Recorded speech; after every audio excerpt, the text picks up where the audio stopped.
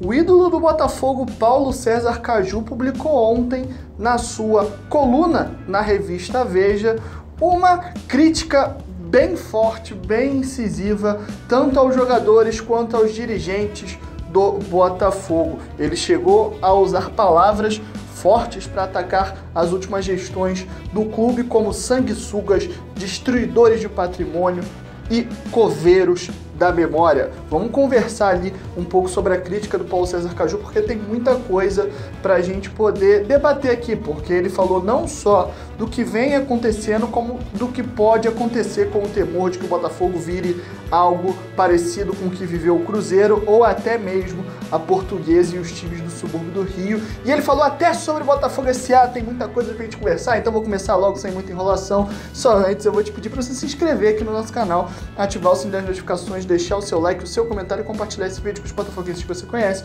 porque esse será o tema do vídeo do Reserva Negra de hoje. Meu nome é Cadu Barbosa e bora pro vídeo. O ídolo do Botafogo e da seleção brasileira, o Paulo César Caju é um ídolo nacional e não só do Botafogo, ele tem uma coluna na Veja, onde toda segunda-feira ele posta ali o seu texto, obviamente mais para a área esportiva, mas ampliando um pouquinho às vezes para o âmbito social. Enfim, o Paulo César Caju é um cara muito inteligente, então ele faz vários paralelos em seus textos na sua coluna da Veja. Nessa segunda-feira, ele dedicou a sua coluna ao Botafogo, porque ele já puxou ali o gancho do Botafogo e Vasco, jogo que não só o Botafogo perdeu de forma vejatória, como vinha perdendo as outras também, mas foi a partida que praticamente selou ali matematicamente o rebaixamento do Botafogo. Não é oficial ainda, mas o Botafogo hoje tem 98 pontos, alguma coisinha de chances de ser rebaixado, então já é praticamente oficial. Mas enfim, o Paulo César Caju começa falando uma coisa muito interessante,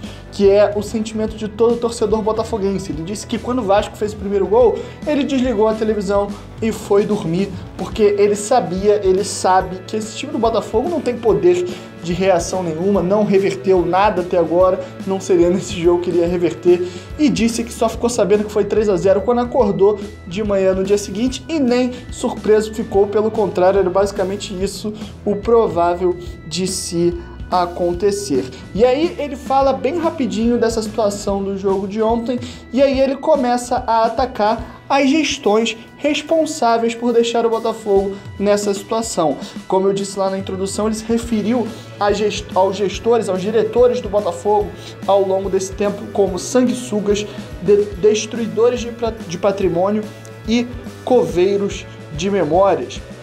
Ele foi bem claro como ele, ele, ele disse que desconfiava, ou pelo menos é, deixou uma questão no ar de por que dirigentes assumem clubes de futebol, mesmo sabendo que eles estão falidos, mesmo sabendo que não dá para fazer nada, pelo contrário, você só vai ter problema.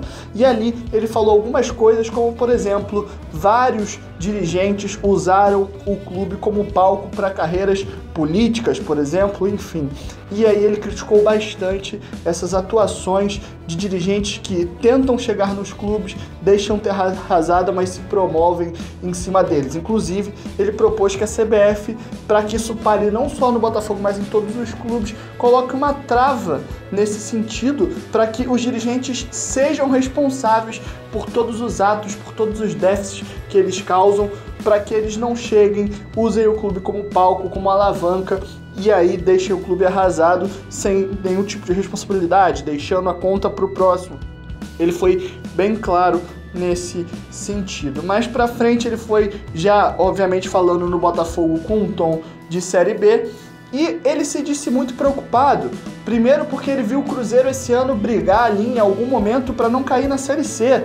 E também clubes de histórias, principalmente na época quando o Paulo César Caju jogava, ele citou ali vários ídolos da portuguesa de desportos, como o Djalminha, falou do, do Jairzinho Furacão, que jogou no Noroeste, falou que vários jogadores de destaque da época dele jogaram no Nacional de São Paulo, no Bangu, nos clubes do Rio de Janeiro de subúrbio, e falou que todos esses clubes, por conta de por conta de administrações terríveis como a do Botafogo, hoje caíram no esquecimento e ele teme que o Botafogo chegue a ser uma portuguesa ou algum clube aqui do subúrbio carioca. Muita gente, inclusive, cita o América nesse sentido.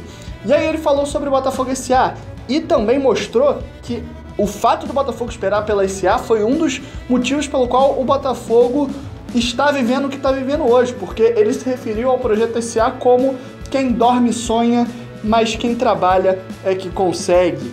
E aí ele disse uma frase muito interessante para fechar o seu texto, que foi: "O sinal está vermelho e eu temo que ele nunca mais fique verde". Enfim, é, você concorda com as críticas do Paulo César Caju? O que, que, você achou dessas declarações fortes dele? Se você quiser ler essa, o artigo dele na íntegra, tá lá no site do reservanegra.com.br. É só você acessar lá. Mas antes de você acessar, obviamente, vou te pedir para você se inscrever aqui no canal e ativar o sininho das notificações, deixando aqui no vídeo o seu like. Tem também a loja do Reserva Negra e as nossas redes sociais para você passar a seguir a gente. Os links ficam aqui na descrição. E é isso. Até o próximo vídeo. Tamo junto. Valeu.